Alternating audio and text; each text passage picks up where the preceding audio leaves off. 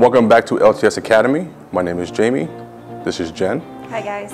And today we're going to show you how to configure your outdoor stations to your indoor stations today. Our indoor stations come equipped with the PoE port as well as a DC 12 volt if you choose to use Wi-Fi. All right, let's begin.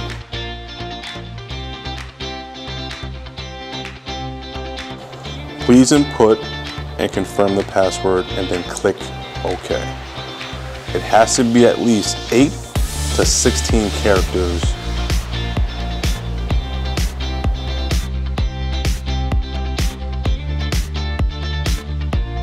Choose your language, look for the check to the right, and then hit next.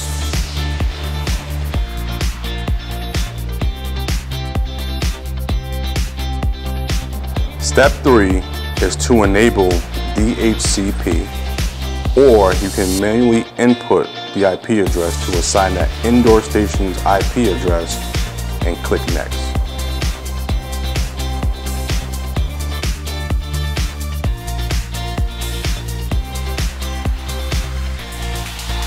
Please choose either indoor station or indoor extension. Please input the floor and room number and hit next.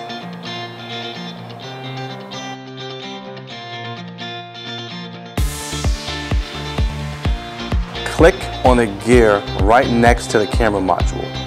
It will pop out a window asking you to activate the camera. Please click OK.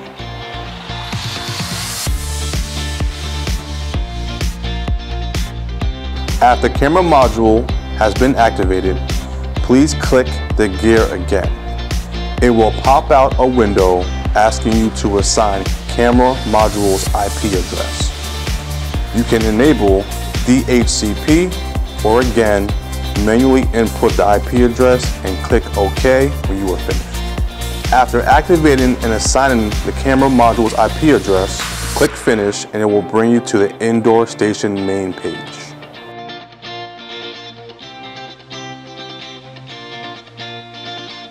If you press the button on the camera module, it will ring the indoor station and you will see me, Jen, and everyone else. you should leave it. You should leave it.